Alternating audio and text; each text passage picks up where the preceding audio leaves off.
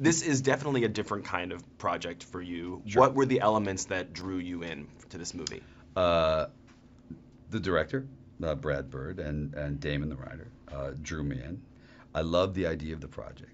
I love the idea that it felt like really like a Disney film, not like Disney films that you see now, which are great, but like a real, like wonderful world of Walt Disney, where uh, the future is not inevitable.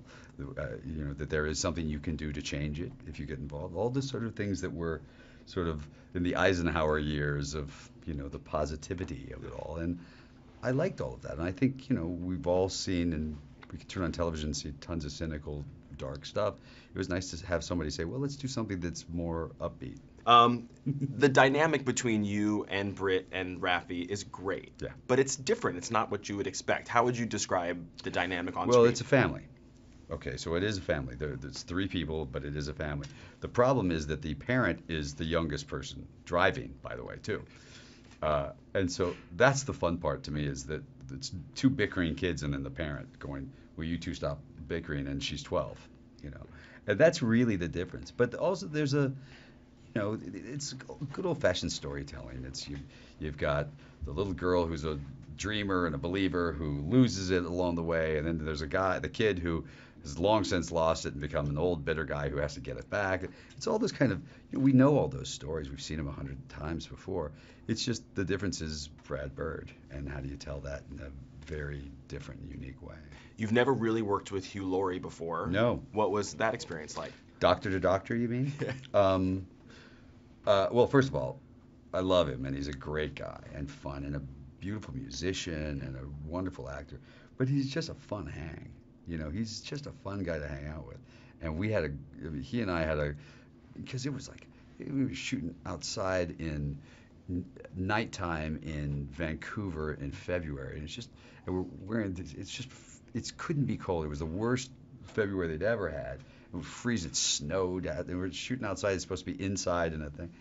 And we were just sitting there, and it could have just been miserable. And he was just hysterically funny. I love it. How would you describe Brad's directing style?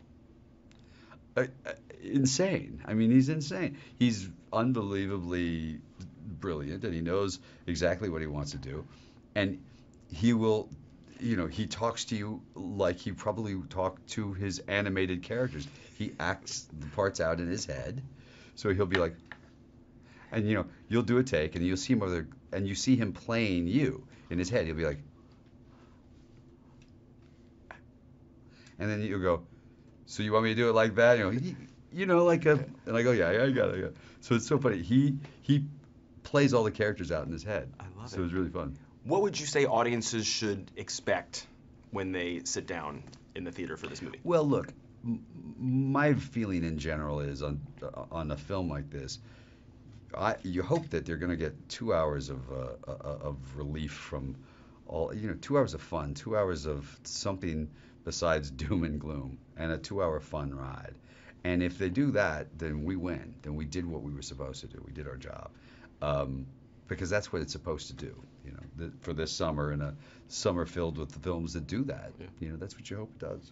Last one. The movie definitely talks about different ways that people can view the future. Mm-hmm. What kind of future do you envision? Does it change from day to day? Sure. Always changes. The future always changes for me. What I think of it, what I think it'll be.